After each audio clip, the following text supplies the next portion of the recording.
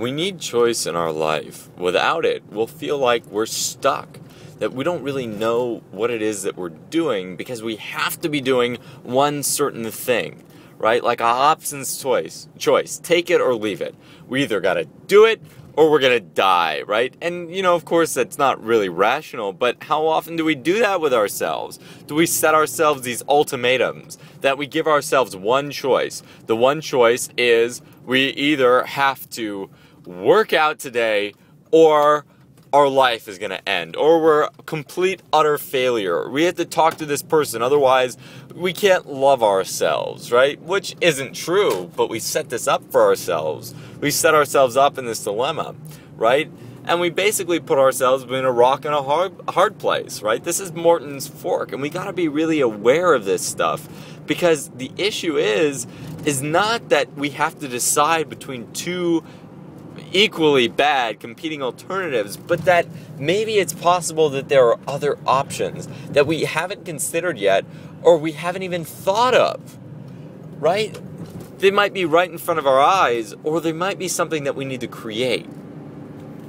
So that's what I want to talk to you about is adding options to your choices. Right? So so often people end up in this situation where they think to themselves, "Ah, oh, crap. Like I either have to do this one thing, which I don't really want to do, right? And then otherwise, I get this other really bad consequence that I don't really want to get. It's like a shadow pulls us towards a, or pushes us towards a firewall, and we're stuck. We either have to make a choice to jump through it or to uh, or to or to fight it. Like for example, it's kind of like you know the the evil monster edging you towards the cliff. Do you jump off the cliff or do you deal with the evil monster? Well, what I want to offer is maybe there's an alternative. Maybe it's not just a two dimensional plane, but it's three dimensional. And you can exit out the z axis. And you can just get the heck out of there.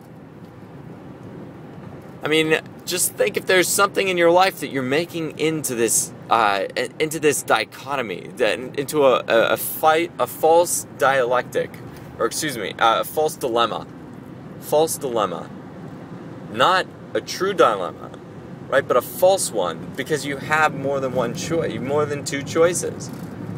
And obviously, there's a lot I could say about this.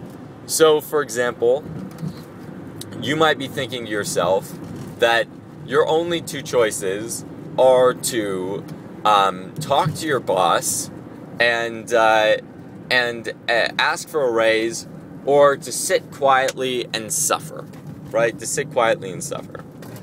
But the issue is, is that maybe your choices are a little bit more than that. You already know what you don't want. You know the path you don't want to walk down. And maybe that's the path that you walk down more often than not. So you take it in, you withdraw, and you don't ask for what you want. That's not good. That leads to cancers. Cancers, both metaphorically and physically.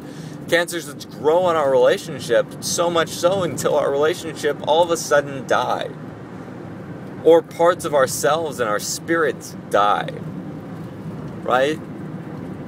Maybe depressions can oftentimes come from us building these cancers of resentment all over ourselves, so much so that we have to basically kill a part of ourselves. Or they get so big that, again, a part of ourselves dies. We don't want that. That doesn't sound very good to me, and it doesn't sound very good at all. So you're in this situation. What do you do about it? Well, I mean, you could get stuck in this Morton's fork, like, oh, now I got to do something that I don't want to do, and uh, uh, or suffer the consequences of not doing it. Yeah, that's pretty bad, right? But what else can you add to this situation, right? Well, maybe you can change one of the options, right? Maybe you can change one of the options from oh, asking for a raise to just having a conversation with your boss about how you're feeling about your work. Right? You see how that kind of changes it a little bit? So, for example, when I meet a lot of guys who are, you know, trying to talk to women or trying to talk to strangers or girls trying to talk to guys, a lot of it, a lot of their problems end up in they're looking for the result too quickly. They're going, I want to have sex with this person. And I go, whoa, whoa, whoa hold on you don't even know if you like them. They might be a crazy psychopath, you know? Or you might have crazy chemistry with them. You have no idea before you talk to them. But what happens is that you've sold yourself short by trying to sell yourself too early or trying to buy them too early because you don't know what you're getting. Right? I mean, you don't know if they have a boyfriend, they're in a loving relationship, or if they're, you know, gay. You have no idea. Right? So instead, start small. Make a small first step. For example, like, oh, all I'm going to do is say hi to this person, right? All I'm going to do is sit down and talk to this person and just, you know, uh, uh, say something to them. Just say one thing and strike up a conversation. That people can do with no thought of anything more than that.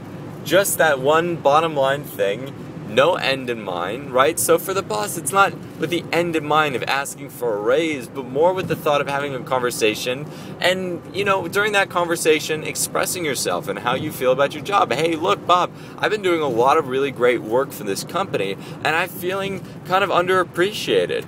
You know, I feel I see all these other people and they make more money than I do, and it's important to me to be supported for the work that I do and to feel truly valued and I feel like I've been undervalued, right? So you're not even necessarily asking for what you want from this person. You're stating how you feel, right?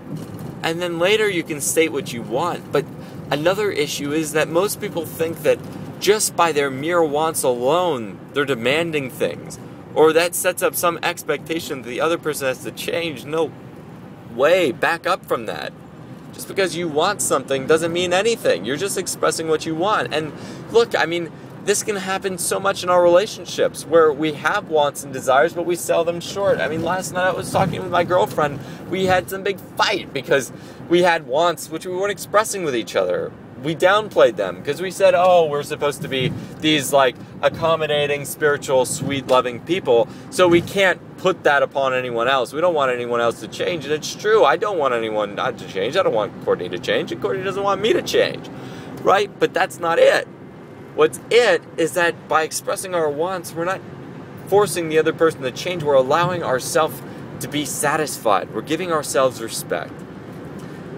So there's more I can say about this, but I want to end with just making a little caveat, and that's that I'm saying we should add choices to our life. We should add freedom and mobility because oftentimes when we don't have any choices, we feel paralyzed and restrained. But the converse of that is that if you have too many choices, you can also feel paralyzed and restrained. So there's a steady balance and a subtle balance between these two things that's really important to hit and to master. So, much love many blessings, and don't get caught under Morton's fork.